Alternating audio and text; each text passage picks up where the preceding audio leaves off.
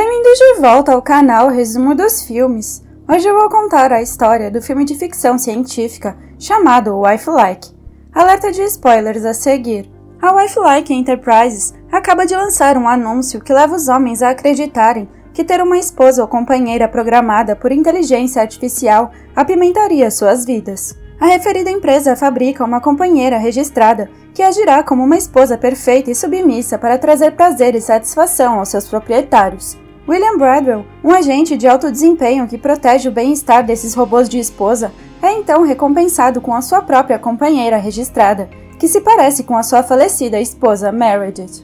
Assim que ele é levado para conhecer a sua nova esposa, William leva Meredith de volta para casa.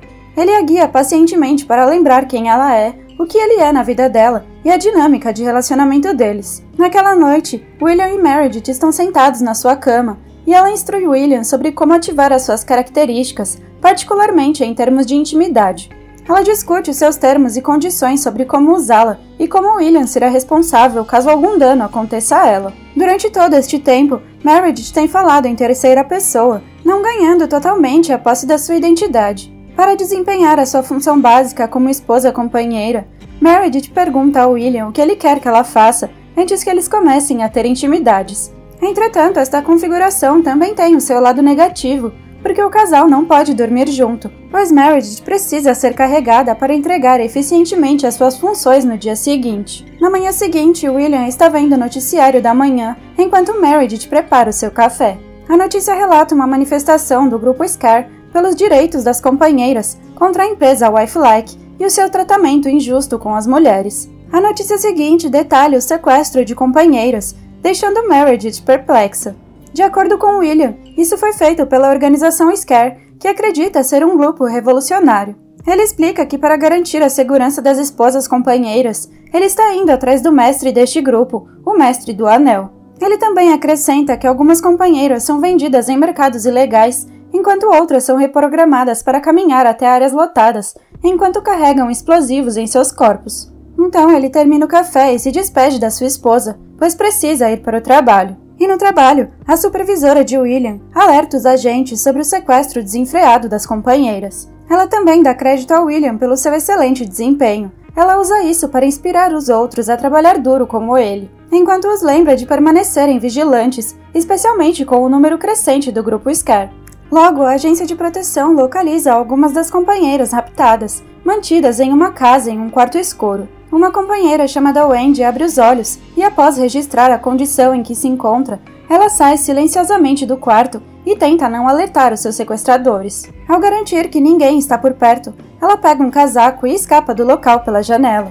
Depois ela pula e cai no chão, mas infelizmente não consegue correr rapidamente quando a sua programação começa a funcionar mal. Devido à estática consecutiva, ela perde o seu equilíbrio e cai de joelhos. William a encontra nesta posição e pergunta cuidadosamente o seu nome e a sua condição. Wendy se apresenta e diz que seus serviços operacionais estão desconectados. Ela também compartilha sobre as demais companheiras dentro da sala e lhe dá informações relevantes com uma descrição dos seus sequestradores. William então instrui Wendy a ficar a salvo enquanto ele entra na casa, deixando para trás o seu companheiro, o agente Jack Dorkinson. William entra silenciosamente no local e vê a sombra de um homem que parece estar socando o ar. Ele aponta sua arma para o homem, mas ao perceber que não pode vê-lo porque está jogando um jogo de VR, ele o derruba com um soco e segue para a sala onde as companheiras estão presas. William caminha em direção à companheira sentada no canto da sala, e enquanto verifica o seu estado, ouve um barulho vindo de trás dele, onde encontra outro homem agarrando uma companheira como refém. Por sorte, William é capaz de derrubar o homem antes de atirar nele, e assim que Jack entra na sala, William deixa o local e confia em Jack para cuidar dos outros agressores. De volta à residência de William, Meredith se deita em sua cadeira especial para iniciar o seu carregamento. Depois de fechar os olhos, ela é transportada para a paisagem dos sonhos, onde encontra Ido, seu operador de sonhos interativo. Ido é quem ajuda a decidir sobre o que sonhar e por esse momento decide mandar Meredith para uma festa de aniversário, onde ela está descendo as escadas. Nesse sonho, Meredith está comemorando seu aniversário, e segundo depois, William se junta a ela para cumprimentá-la e elogiar o quão linda ela está. De repente, uma mulher desconhecida interrompe o seu momento e pede a Meredith emprestada para uma dança. A mulher se apresenta como Lyd, que parece ser uma conhecida de Meredith. Enquanto elas dançam, Meredith vê um homem mascarado parado no canto da sala. Por curiosidade, ela se aproxima do homem e aceita o cartão que ele lhe entrega. Então, o homem diz que isso a ajudará a se lembrar de tudo antes de partir. Enquanto isso, William chega ao prédio da Wife Like para entregar as companheiras que ele recuperou da sua recente operação. O pessoal acompanha William e as companheiras até um salão para que todos fiquem juntos. Quando eles chegam, William tem um encontro bizarro com duas companheiras chamadas Ollie e Lyd, que olham para ele com raiva. O pessoal pede a William que as demita e diz que as duas são conhecidas por serem Rhodes. Na manhã seguinte, Meredith pergunta sobre o homem mascarado que lhe entregou um cartão, mas Ido não encontra nenhum registro ou memória sobre ele em seus sonhos. Então ela se familiariza com os verdadeiros hobbies de Meredith, quando Ido começa a enumerar as coisas que Meredith gostava de fazer.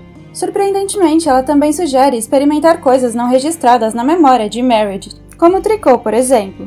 Depois de um tempo, ela decide andar de bicicleta lá fora e quase atropela uma senhora estranha que afirma ser alguém que a conhece. Esta senhora continua insistindo que elas se conhecem e a pressiona para recuperar as suas memórias. Quando Meredith compartilha o seu estranho encontro com William, seu marido instrui a ter cuidado com as mulheres, especialmente porque elas odeiam companheiras, porque elas lhe tiraram a atenção dos homens. Mais tarde naquele dia, o casal está relaxando lá fora quando William percebe que Meredith está começando a se chamar de eu em primeira pessoa, o que significa que a memória da sua verdadeira esposa está se fundindo com a da inteligência artificial. O casal está satisfeito com este progresso e Meredith continua surpreendendo William, lhe dando um item que ela tricotou. Naquela noite, ao entrar na sua paisagem dos sonhos, Meredith informa Ido que está começando a se familiarizar com as memórias da verdadeira Meredith e decide que o seu sonho deveria ser sobre o seu primeiro encontro com seu marido. Este belo sonho, entretanto, se transforma em um pesadelo quando ela descobre o homem mascarado que está ao seu lado em vez de William. O homem insiste em saber tudo sobre Meredith e quando ele se atira para cima dela, William a acorda do seu sonho ruim. A curiosidade de Meredith sobre o homem mascarado cresce, mas William assegura a ela que este homem não existe. Na manhã seguinte, a empresa Wifelike manda William a outra missão para recuperar uma companheira, chamada Lisa Muser. Apesar da sua breve interação com Lisa, ele consegue notar o seu comportamento incomum. Lisa parece ter uma mente própria e assume o controle das suas ações, o que se opõe à natureza submissa e bem comportada das companheiras. No entanto, William tenta persuadi-la a vir com ele. Ele acredita que ela agora vai cooperar, mas ela foge, se tranca em uma sala e pula pela janela do prédio, deixando-o extremamente confuso. Enquanto isso, Meredith está limpando a casa quando percebe a senhora estranha do outro dia sentada na sua sala de estar. Ela a confronta sobre como ela a encontrou, mas a mulher apenas debocha do seu previsível e robótico comportamento. Para chamar a atenção de Meredith, a mulher começa a falar sobre o homem misterioso e sobre como ele quer conhecê-lo. No entanto, Meredith rapidamente percebe que este poderia ser um mecanismo de sequestro e em vez disso, ela ameaça a mulher que sua conversa está sendo gravada e que ela deve sair da sua casa antes do seu marido chegar. Mas a senhora parece inabalável com a ameaça e até deixa uma mensagem para William, finalmente revelando que o homem misterioso por trás da máscara se chama Kinney. Então, antes de partir, a mulher diz a Meredith que o seu nome é Louise. De volta à empresa, William acaba de devolver a companheira ao seu proprietário quando repara em outro anúncio, afirmando que a empresa agora oferece bebês robôs. A equipe se aproxima dele para parabenizá-lo pelo seu trabalho, mas William os questiona sobre a necessidade de criar e vender bebês alimentados por inteligência artificial. O pessoal responde que todos merecem se tornar pais, mas William se opõe fortemente. Ele então ordena ao pessoal que lhe permita falar com Marion Venter, o homem dos anúncios e criador das empresas Wife-like Enterprises. Assim que eles se enfrentam, William conta a Marion o que observou em Lisa e expressa sua preocupação sobre como os outros podem agir de forma semelhante a ela. Mas Marion rejeita a queixa de William, dizendo que não há nada com o que se preocupar e que um pouco de confusão e incertezas fazem parte de um futuro em evolução. Quando William volta para casa, Meredith o cumprimenta e pergunta sobre o seu dia como uma esposa perfeita. Ela também conta sobre a inesperada visita de Louise e pergunta sobre Kenny, Vendo a reação bizarra de William à menção do nome de Kinney, ela se oferece para reproduzir o seu vídeo gravado, para lhe dar uma ideia de como foi o seu encontro com Louise. Após alguns minutos, William liga para Jack, interrompendo o seu romance com a sua parceira. Como ele precisa priorizar o seu dever, Jack corre para a casa de William para ajudá-lo a localizar Kinney, que acredita ser um membro da organização Scare. William vê isso como uma oportunidade de derrubar o grupo e trazer segurança para as companheiras. Com o consentimento de Meredith, eles invadem o sonho dela para rastrear a localização de Kinney. Eles até tomam nota do endereço que Kinney dá a Meredith para que ela se encontre com ele. Jack e sua equipe entram na suposta localização e só encontram um caso que emite gás, enquanto, por outro lado, William chega ao endereço que Kinney deu a Meredith e apenas vê um manequim. Então ele percebe que eles tinham caído na armadilha de Kinney e correm para casa para verificar a sua esposa, que diz ter encontrado um caderno do lado de fora da porta mais cedo, quando alguém bateu na porta. Eventualmente, William revela o passado sombrio de Meredith, como ela esteve envolvida em uma tragédia de bombardeio que resultou em uma fatalidade. Ele também a convence de que tudo o que ele faz é para protegê-la. Depois disso, William fala com Jack por chamada de vídeo e reconhece que Kinney está um passo à frente deles. Então ele bola uma nova estratégia de defesa, que envolve o encontro com Kinney no sonho de Meredith. No entanto, Jack sabe como o plano de William é arriscado, então ele lembra continuamente sobre a lei e os padrões éticos para lidar com a situação.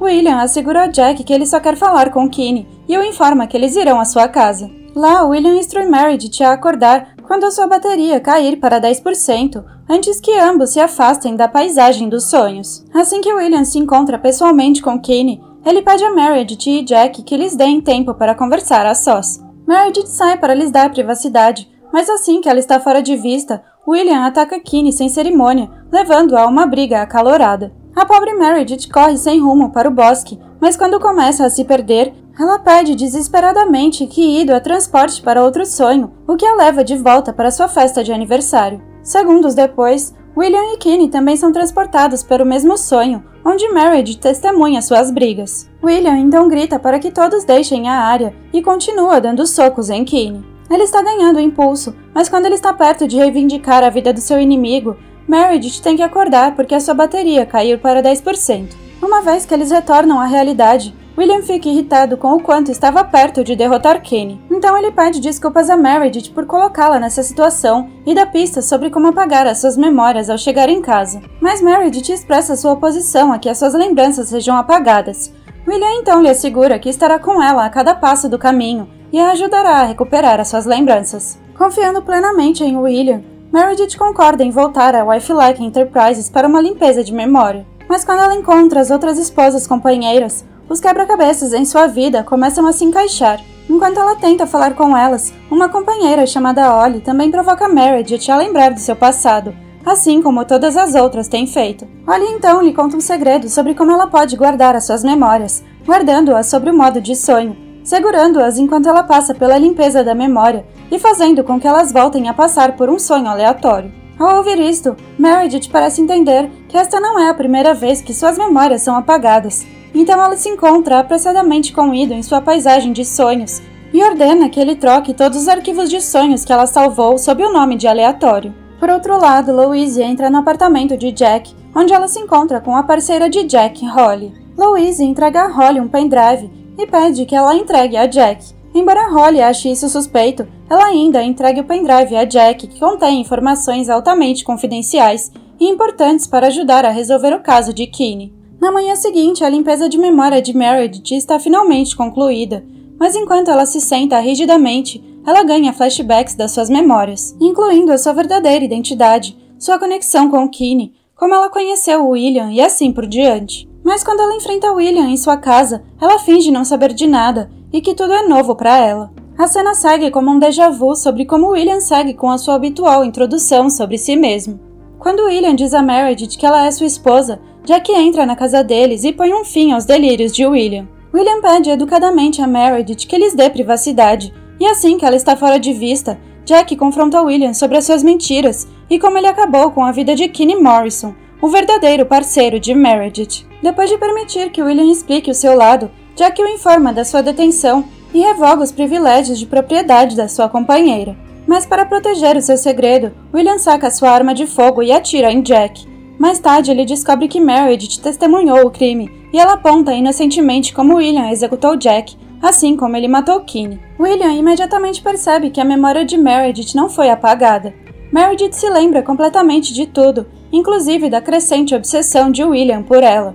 a ponto de usar o seu poder para detê-la e forçá-la a entrar em seu carro. Meredith então se lembra vividamente do seu primeiro encontro com William enquanto eles falavam dentro do carro. Ela o encontrou pela primeira vez quando bateu à porta dele, pedindo a sua assinatura para apoiar o protesto deles contra as empresas Wife-like e a criação das companheiras. Desde então, William a seguiu persistentemente por aí como um perseguidor obcecado, Meredith ficou com medo de William, mas por mais impotente que ela fosse, ela não pôde fazer nada quando William pediu a Kinney que saísse do veículo e explodiu a cabeça dele. De volta ao presente, William tenta ser honesto, insistindo que o que ele fez foi para proteger Meredith. Ele até justifica sufocá-la durante o sono usando um travesseiro parecido com o que Meredith tricotou e colocando um anel no dedo dela para fazer parecer que ela era sua esposa. Mas com a sua fúria reprimida, as doces conversas de William não têm nenhum efeito sobre Meredith.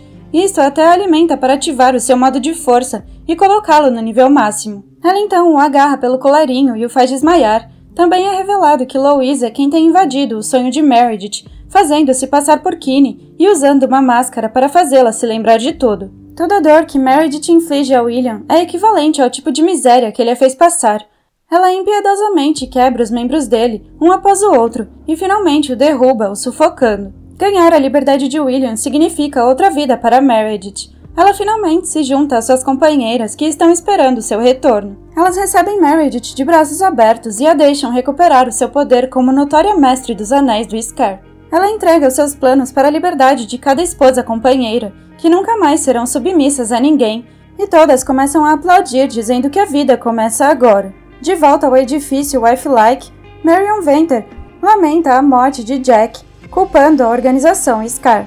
Ele promete fazer justiça ao localizar a Mestre do Anel e anuncia que delegará o comando desta missão crítica ao agente William Bradwell, que agora também é um companheiro.